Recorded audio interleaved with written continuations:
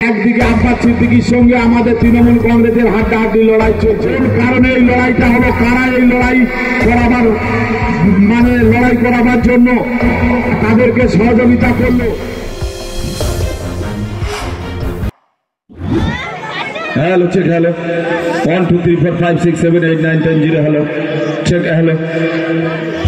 বাজান আজকের এই সভার সম্মানীয় সঞ্চালক, আমাদের এই অঞ্চলের অঞ্চলের সভাপতি শ্রদ্ধা আমাদের হাজি সাহেব, মাননীয় সরকার শেখ মহাশয় এখানে উপস্থিত আছেন। ক্যানিং টু পঞ্চায়েত সমিতির পূর্তের কর্মদক্ষ হাকিম মিত্রের মহাশয় এখানে উপস্থিত আছেন। আমাদের পাশের অঞ্চলের অঞ্চল সভাপতি শ্রদ্ধা নাসির উদ্দিন গাইন এখানে উপস্থিত আছেন। আমাদের বিধানসভা কমিটির সমস্ত নেতৃত্বরা এখানে উপস্থিত আছেন। আশপাশের বুথের সমস্ত বুথের সভাপতিরা, এই বুথের অঞ্চল কমিটি, বুথ কমিটি থেকে শুরু করে আমাদের বঙ্গজননী কমিটির নেত্রীরা সবাইকে শ্রদ্ধা, ভালোবাসা, নমস্কার, সালাম জানিয়ে আমি দুটি শুভেচ্ছা জানিয়ে আমি দুটি একটি কথা বলব। গত বিধানসভা নির্বাচন দু হাজার একুশ। এই বিধানসভাকে সামনে রেখে যখন আমরা লড়াই আন্দোলনের মধ্যে দিন যাপন করছি, তদ মুহূর্তে আমরা কি দেখলাম? একদিকে সাম্প্রদায়িক শক্তি বিজেপি অন্যদিকে মৌলবাদী সংগঠন আইএসএফ। যখন তারা ময়দানে লড়াইয়ের জন্য নামলো আমরা দেখলাম যে বিধানসভা নির্বাচনের দিনক্ষণ ঠিক হলো, মুখ্যমন্ত্রী ঘোষণা করে দিল, যদি মামাটি মানুষের সরকার ক্ষমতায় আসে, তাহলে প্রথম অগ্রাধিকার দেওয়া হবে আমার মায়েদের এবং দুয়ারে রেশন চালু করা হবে। আমরা কি দেখলাম? দু হাজার একুশের নির্বাচন শেষ হলো আমরা সেখানে দেখলাম নিরঙ্কুশ সংখ্যাগরিষ্ঠ নিয়ে, গরিষ্ঠতা নিয়ে তৃণমূল কংগ্রেস ক্ষমতা এলো।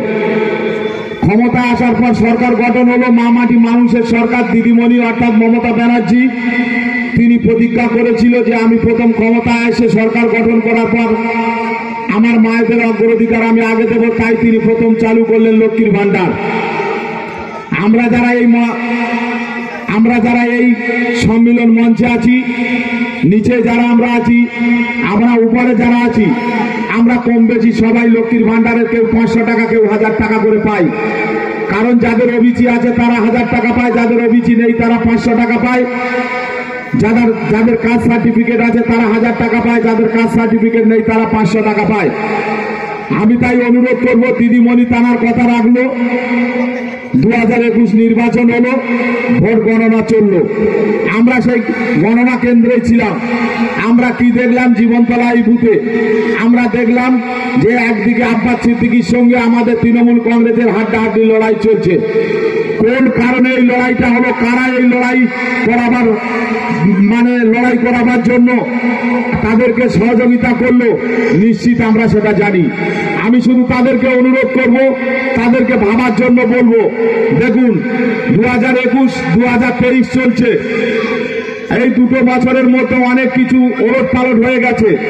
যারা আইএসএফ করেছিলেন, আমি তাদেরকে বলব, যে ধরনের নোংরামু আপনারা করেছিলেন আমরা, কিন্তু সেই নোংরামুকে আমরা সাপোর্ট করিনি, কিন্তু আমরা ঘৃণা করেছি।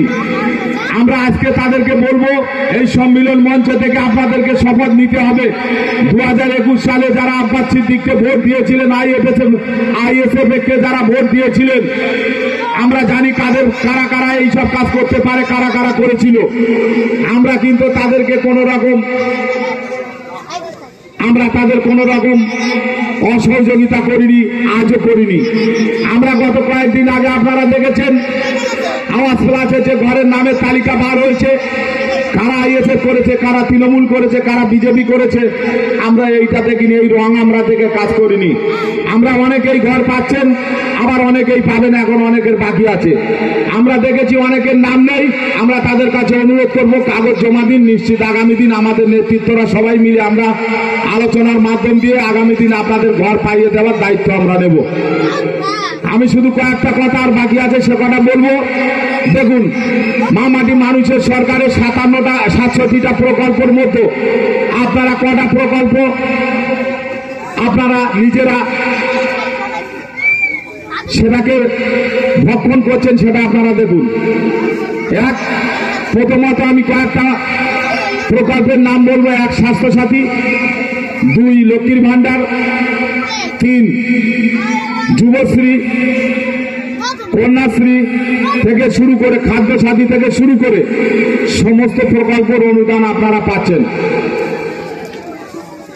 এবং মরলে দু হাজার জন্মালে দু হাজার সেটাও পাচ্ছেন। তাই আমি অনুরোধ করব যে সমস্ত ব্যক্তিরা আমাদের থেকে মুখ ফিরিয়ে নিয়েছিলেন।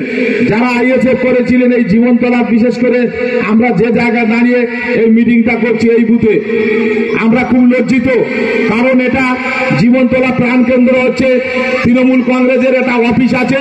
এই অফিসটা শুধু না, বেলার অফিস, বিডিও অফিস থেকে শুরু করে সবই অফিস আমাদের জীবনতলার মতো। জীবনতলার মানুষ যখন কোনো কাজ অন্য দিকে করে তখন আমাদের হৃৎপিণ্ডটা সেখান থেকে নড়চড় করে নড়ে চলে যায়। সেই জন্য জীবনতলা মানুষের কাছে আমাদের আবেদন থাকবে। আগামী দিন দু হাজার তেইশ বিধা পঞ্চায়েত নির্বাচন, এই পঞ্চায়েত নির্বাচনকে সামনে রেখে আমাদের আজ থেকে শপথ নিতে হবে। এই জীবনতলার মুখে যাই হোক, আমরা সবাই মিলে একত্রিত সংঘবদ্ধভাবে লড়াই করব এবং সবাই তৃণমূল কংগ্রেসের ছত্র ছায় থাকব এবং আগামী দু হাজার তেইশ যে পঞ্চায়েত নির্বাচন, এই পঞ্চায়েত নির্বাচনকে সামনে রেখে এখানে বিরোধী শূন্য পঞ্চায়েত আমরা করব। এই প্রতিজ্ঞা আপনাদের নিতে হবে এই সম্মেলন মঞ্চ থেকে। দু হাজার আমাদের লোকসভা নির্বাচন দু হাজার ছাব্বিশে বিধানসভা যে বিধানসভা নির্বাচন আমরা সামনে, সেই বিধানসভাকে সামনে রেখে আমাদের যিনি প্রার্থী হবেন, সেই তিনি মাননীয় বিধায়ক শওকাত মোল্লা মহাশয়। কি অপরাধ তিনি করেছিল? কি অপরাধ তিনি করেছিল যে আমরা তাকে প্রত্যাখ্যান করলাম? দু হাজার একুশ সালে নির্বাচনে আমরা তাকে ভোট না দিয়ে আইএসএফ এর মৌলবাদী সংগঠন আইএসএফ কে ভোট দিলাম। যে মানুষ নিষ্পাপ, নিষ্কলঙ্ক, যার মুখে কোনো কালির দাগ নেই, কালির ছাপ নেই, তাকে আমরা ভোট দিলাম না। ভোট দিলাম কোথায় সেই মৌলবাদী সংগঠন আইএসএফ কে তাই আমি সবাইকে ভাবার জন্য অনুরোধ করব, আগামী দিন যেন এই ভুল আমরা না করি। এই ভুল যদি আমরা করি, তাহলে কিন্তু আমাদের বড় রকম সমস্যার মধ্যে পড়তে হবে। আমরা দেখছেন, উন্নয়নের ব্যাপারে আমাদের বিধায়ক সাহেবকে বলতে হয় না। তিনি কোথায় জীবনতলা রাস্তা হবে? কোথায় কার বাড়ি থাকতে রাস্তা নেই করতে হবে? কোথায় টিউবওয়েল নেই করতে হবে? কোথায় আরও আমাদের পঞ্চায়েত সমিতি আছে, পঞ্চায়েত আছে? সবাই মিলে আমরা একসাথে হাত মিলিয়ে উন্নয়নের ধারাকে অব্যাহত রাখব এবং শান্তি শৃঙ্খলা জীবনতলা বুথের প্রতি সবার লক্ষ্য থাকবে এবং জীবনতলা বুথ আগামী দিন আমাদের সবাইকে পথ দেখাবে এবং দু হাজার তেইশ পঞ্চায়েত নির্বাচন জীবনতলা বুথ বিনা প্রতিদ্বন্দ্বিতায় জয়লাভ করবে, এই কথা বলে সবাইকে ধন্যবাদ, সালাম, নমস্কার, ভালোবাসা জানিয়ে আমার ছোট্ট কথা আমি শেষ করছি। জয় হিন্দ, বন্দে মাতারাম, তৃণমূল কংগ্রেস জিন্দাবাদ, শওকত মোল্লা জিন্দাবাদ। ধন্যবাদ আমাদের প্রধান সাহেবের। আমরা একটু আবার সংবর্ধনা অনুষ্ঠানে ফিরে আসব।